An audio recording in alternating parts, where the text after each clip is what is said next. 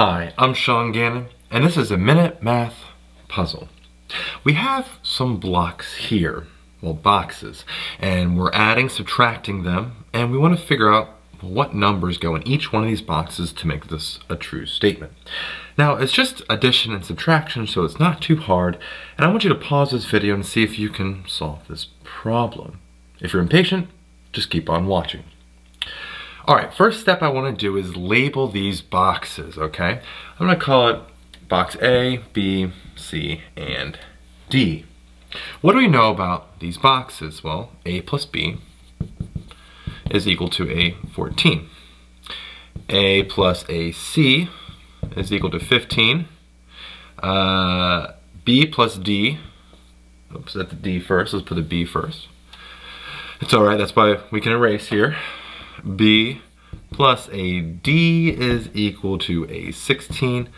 And last but certainly not least, the only subtraction, C minus a D is equal to a 10. Now we have this information, we see if we can, well, do some algebra here and rearrange them to get some variables by itself. This puzzle is really just a math problem, if you didn't get it. So first let's look at the BD, uh, B plus a D equals 16, and a C minus a D equals a 10. If I add these two equations, the last two together, my D's cancel out. We have a B plus a C is equal to a 16 plus 10, which is a good old 26.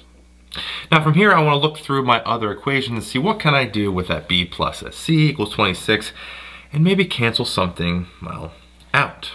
Well, if I rearrange my first equation, a plus b equals 14, I can make that say that, well, b equals a uh, 14 minus an a, right? Subtract a to both sides.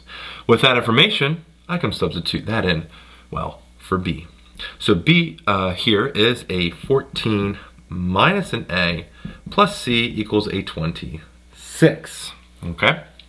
Now, if I look at my next equation down here, I have a plus c equals a 15. So if I write that below that, a plus ac equals a 15. Let's bring that down so you can see where I got that here. I'm gonna add these two equations right here. I'm doing that because I want my a to cancel and I will just get a c value left over. Negative a and positive a cancels. I have a 14 down here plus a 2c is equal to 26 plus a 15, which is a 30, uh, 30, 41. Can't add here. I want to subtract now a 14 to both sides. And I'm left with a 2c is equal to 41 minus a 14. Oh, that comes out to be, let's put a 3 here, carry the 1, that's a 7, 27 divided by 2. And C, first one we get here by itself, let's go put that, uh, let's put it right here. C, I'll make a list here, C is equal to 27 over 2, which is a 13.5. Okay. Now if C equals 13.5, it's pretty easy to find the rest. Let's go with our second equation right here. I have A plus my C value, 13.5 is equal to 15. Subtract that 13.5 to both sides, and now we're on easy street. A equals 15 minus 13.5, that's gonna be a, a 1.5, right? Yeah, 1.5 for A. Got that right here. Keep on going, A is a 1.5. Oh, let's go with our first equation now. We have A, 1.5, right? Let's just bring that here. Plus a B is equal to a 14. From there, I can get b, subtract a 1.5 to both sides, and b is equal to a good old 14 minus 1.5 is a 12.5. And we have A, we have B, we have C. We just need the D.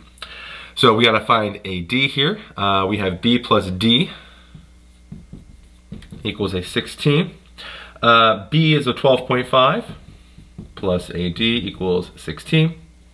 Subtract a 12.5 to both sides, and we have D here equals a 16 minus 12.5 is a 3.5. So let's go erase our A, B, C, and D's here and see if it turns out to be true. So A we said is a 1.5. Let's erase that. We got a 1.5 right here. B we said was a 12.5. C is a 13.5. And lastly, the good old D is a 3.5. Let's check and see if this worked here. 1.5 plus a 12.5, uh, that gives me a 14. We're good. 13.5 minus a 3.5 is a 10. 1.5 plus a 13.5 is a 15. Good old check mark. And last but not least, 12.5 plus a 3.5 does in fact give me a 16 and we got our answer right here. Were your answers correct to what I have? If so, great for you. If not, well, hopefully you learned how to solve this problem. Anyway, thanks for watching, as always, and don't forget to like this video and subscribe to our YouTube channel. This helps us make more of these fun math videos for you and for everyone else. So as always, thanks for watching.